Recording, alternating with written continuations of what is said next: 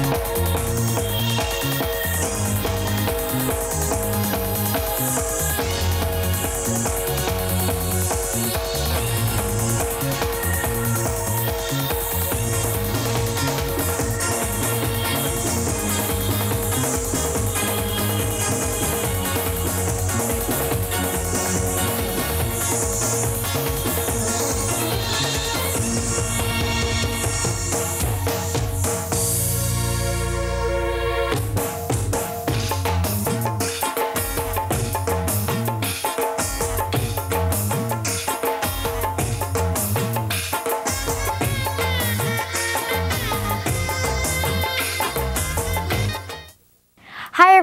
welcome to a brand new episode of Zindagi. We have a very classical and entertaining show for you today. There is an exciting concert coming up and we had a chance to talk to a couple of the organizers, so stay tuned. But first, here's a word from our sponsors.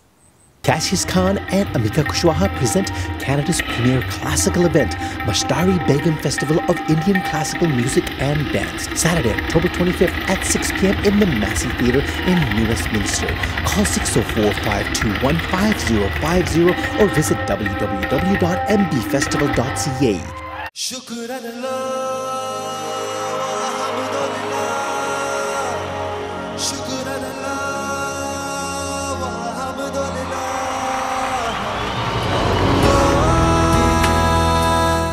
We love making devotional songs. People call us the merchants of Sufi music.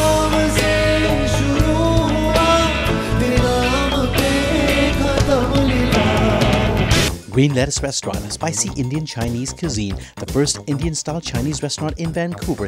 Eat in or takeout and catering, open seven days a week. Green Lettuce Restaurant is located at 1949 Kingsway at Victoria Drive in Vancouver. Telephone 604 876 9883. Green Lettuce Restaurant in Vancouver, open every day for lunch and dinner.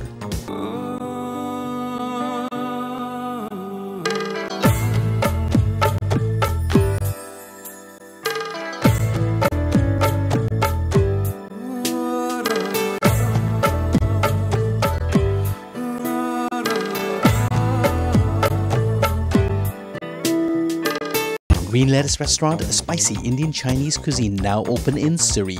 Eat in or take out. Unit 120 6350 120th Street in Surrey. Telephone 604 572 8677. Green Lettuce Restaurant in Surrey is now open every day for lunch and dinner. To make a reservation, call 604 572 8677. Cassius Khan and Amika Kushwaha present Canada's premier classical event, Mushtari Begum Festival of Indian Classical Music and Dance. You are invited to experience a journey of emotions through this rare classical art performed live. Saturday, October 25th at 6 p.m. in the Massey Theatre in New Westminster. Call 604 521 5050 or visit www.mbfestival.ca. When your ears begin to see, the eyes listen. Welcome back. The third annual Mushtari Begum Festival is happening on October 25th and rehearsals are well underway. We had a chance to drop in and talk to Amika and Cassius about this event, so let's take a look.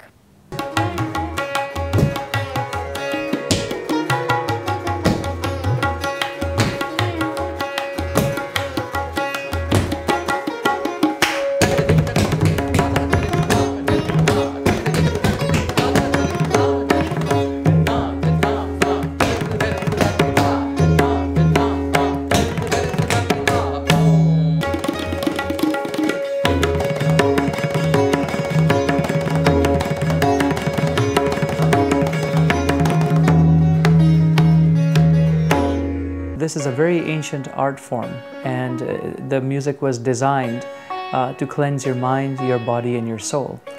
And uh, there are many different, uh, what we call uh, melodic intonations or uh, ragas in our music. Ragas, most people would think it is a scale, but actually, ragas are more like a thought. Um, it's as sweet as sugar and treacle, and they have ascending and descending notes uh, according to uh, the ras, uh, the rasa, or the mood, the ras.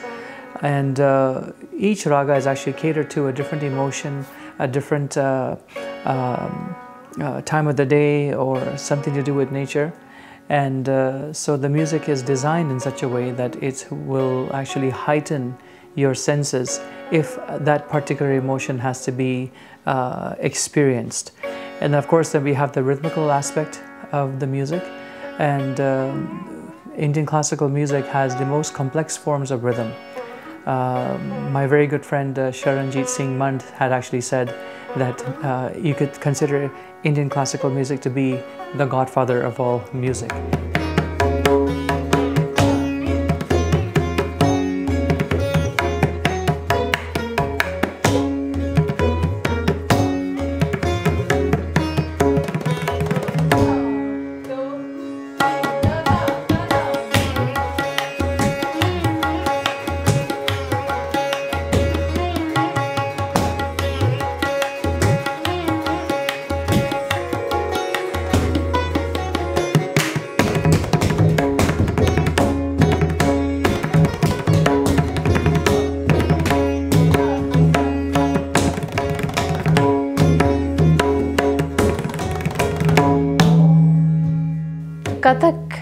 Dance, uh, as all classical dance forms of India, they are a combination of yoga practices and uh, meditative practices that combine to tell stories of old mythological uh, stories of India, of nature, and a lot of the elements that we find in nature along with classical music and this rhythms all combine into classical Indian dance. And when I dance, I somehow find myself in a somewhat of a meditative state because concentrating on hand movements, expression, footwork, and being aware of your surroundings and being in control of your body and your posture, all that takes so much of, of a attention that you find that I find myself almost in a meditative state when I'm when I really get going in my dance. And there are times when you just start dancing and you don't really realize what you're going to end up dancing and it just turns out that way. So I find that through dance I can meditate, I can I know it sounds a little bit petty but keep fit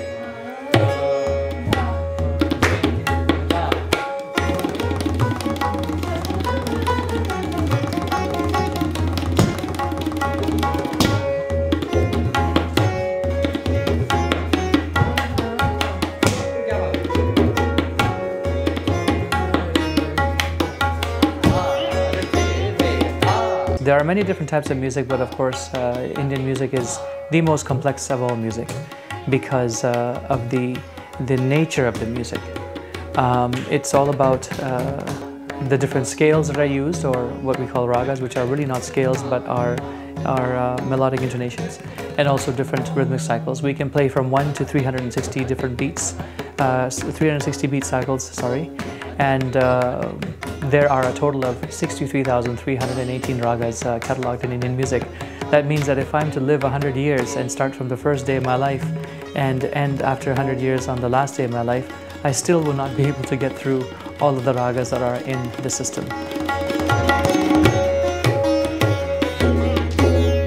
India is kind of loosely divided in North and South India. So in North India, Kathak is the classical dance form that's most popular. In fact, besides Manipuri, uh, which is danced in Assam uh, area, Kathak is the one that carries through North India. And in South India, there's Bharatanatyam, Odissi, uh, Kuchipuri, uh, Kathakali, Mohiniyattam. And um, those dance forms are more uh, rigid in their mudras or hand gestures, and they, they're very precise, and all the hand gestures move more um, abruptly. Whereas in Kathak, we kind of smooth everything out. So if we wanted to go from here to there, it's really, it's a very smooth action in Kathak. And it's more familiar perhaps to people to see Kathak. What I explain is if you're familiar with flamenco and ballet, this is for my Western audience uh, friends. uh, flamenco and ballet, if you kind of mix it together with the strength and the fluidity combined in one, is what I find Kathak is.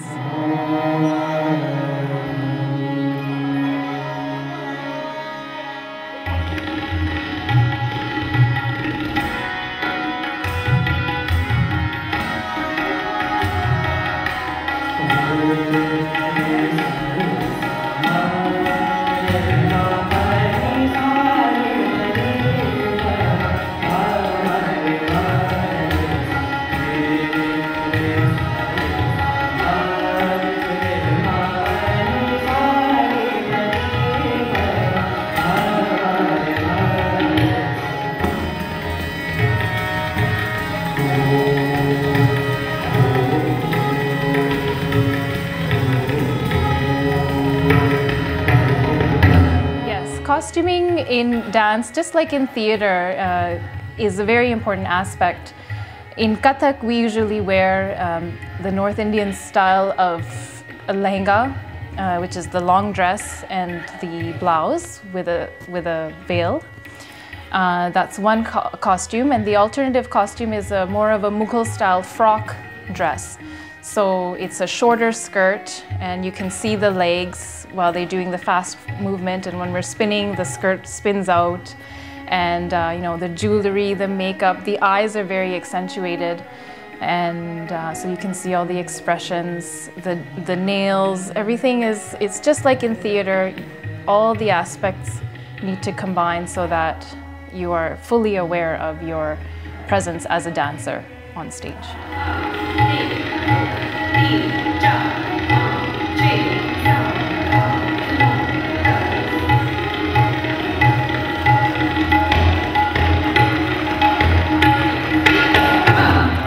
I believe that my passion comes from just uh, everyday, everyday uh, nature. It comes from uh, uh, my relationships with people. It comes from uh, my relationship with my instruments. Uh, my instruments are, are also my best friends as well.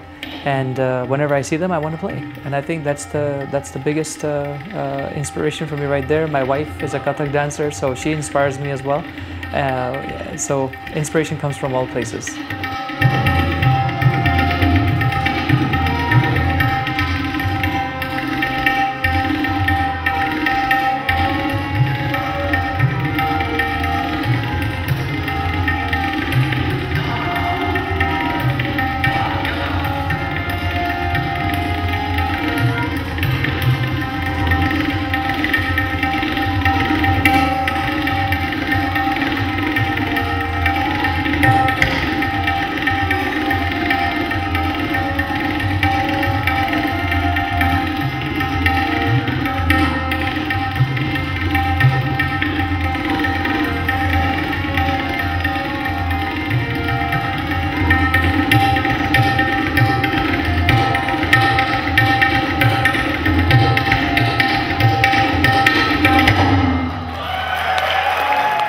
Tabla requires a great sensitivity in your hands because you have to apply the right amounts of pressure and you also have to make sure that all the muscles in your arms and your back and your shoulders are developed properly, all the twitch fibers are developed properly so that you're able to play at higher speeds or at lower speeds. So everything is connected from the fingertips to our brain. And uh, they say that the fingertips is the most uh, uh, sensitive part of your body. Um, when you touch something and you close your eyes, every texture can be felt by your fingertips, and that that is transported here through motor nerves. So um, the art of playing requires for the mind and for your hands to be synced together. So that is what takes uh, lifetimes to achieve.